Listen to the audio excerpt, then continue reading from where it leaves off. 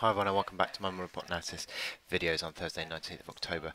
With me, Richard Perry, market analyst at Hantec Markets, Dollar Yen, and a little bit of a, a, messy look to this in the last sort of day or so.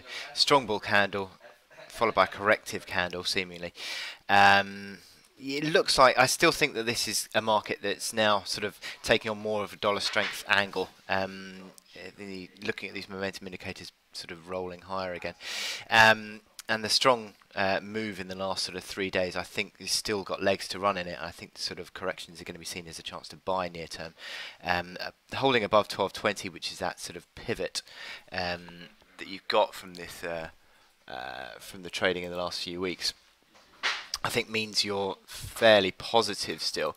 Uh, you've got that 1220 pivot in here and you're above that and you've also held above sort of 1250 1260 uh, in the initial corrective move um, which again is a sort of a, a, near-term pivot. So I'd still I'm still sort of hanging on to a, a, more positive look to this chart considering we're sort of turning higher again in the uh, in the hourly indicators. More strong um, indication on the uh, momentum as well.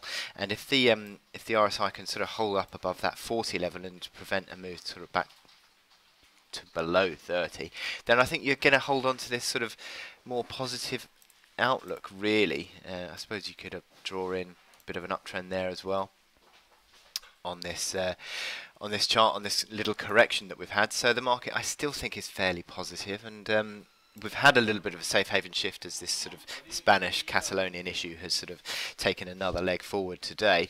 But I don't necessarily think it's um, it's going to be an outlook changer for dollar yen, and I think that the dollar is going to continue to strengthen. So subsequently pull dollar yen higher, probably to retest today's high at some stage 12, uh, 13.15, and then 13.43, which is that uh, range high from October.